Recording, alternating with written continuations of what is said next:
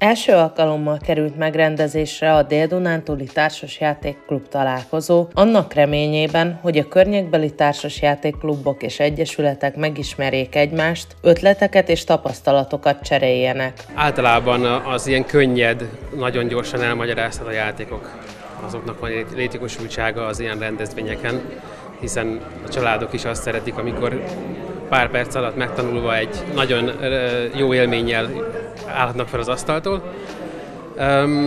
Egyébként most itt készültek kollégáink nem a mi egyesületünkből, de egy másik egyesületből, az Irek Szemcsei Egyesületből, egy társasjátékkal, amit ők fejlesztettek. Az összejövetel létrehozásával olyan hagyományt szeretnének megteremteni, amelyel minden évben országos figyelmet tudnak irányítani a hazai társasjátékos életre. Céljuk, hogy egy időben kortól függetlenül minél több emberhez eljusson a játék önfelett élménye. A rendezvényen belül lehetőség van új, saját fejlesztésű játékok bemutatására és tesztelésére, így azonnali visszajelzést kapnak a fejlesztők a kipróbálók élményeiből és reakcióiból. Szerettünk volna mindig egy olyan saját játékot a klubba, amiben mindenki talál kedvére való elemet, ugye vannak gyengébb, erősebb játékosaink, vannak, akik a gamer játékokat szeretik, vannak, akik csak a parti játékokban vannak otthon, ezért úgy gondoltam, hogy kitalálok egy olyan játékot, amiben minden elem megtalálható, és majd közösen megyünk abba az irányba, hogy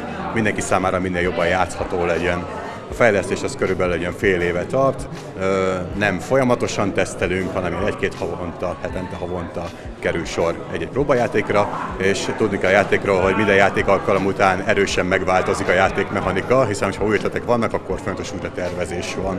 Ide is azért hoztuk el, hogy friss véleményekkel találkozzunk, és a második partit játszuk éppen, már új szabályokkal az előzőhöz képest. A társasjátékok rengeteg olyan megoldást adnak a hétköznapokra, amelyekkel például a gyerekek elcsápíthatóak a telefonoktól, és a játék összehozza a családokat. Azonban nem csak a családoknak nyújtanak önfelett szórakozást, hanem olyan baráti társaságoknak is, akiknek akár több órás játékokra van igényük. Ezek már komoly agymunkát és stratégiai gondolkodást igényelnek. Megfigyelhető, hogy 6 éves kor alatt a gyerekek inkább mozgáspártiak, 6-7 éves kortól 11 évesig már szeretnek társasozni is. A kamaszokat a legnehezebb mozgósítani az asztali játékra, viszont az egyetemista korosztály sokkal nyitottabb az izgalmasabb feladatokra.